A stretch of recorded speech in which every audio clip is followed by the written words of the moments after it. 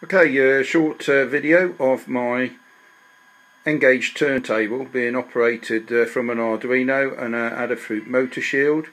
Um, the board there is a DCC interface which I've uh, constructed. It's a direct copy um, that I've taken off the internet from uh, the RM Web um, guy called Ray, uh, a username of Tender I think.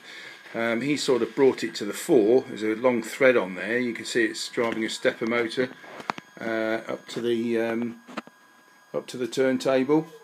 Um, basically, I'm using a Digitrax handset. Um, it's got uh, accessory uh, accessory 200 accessory switch 200. So if I just press the um, thrown, we'll notice that the turntable starts to move. Should turn about 180 degrees.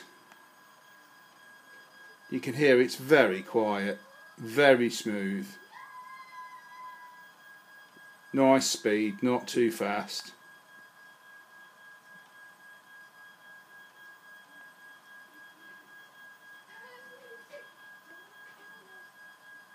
Seen lots of these done in uh, OO gauge, um, but I've not seen many in the uh, N gauge.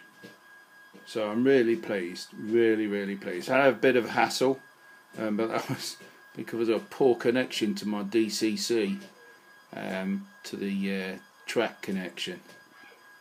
Um, just coming to a halt any time now, I should think. There we go. It's got 180 degrees. So now, if we run back to the um, to the switch and just send it to close.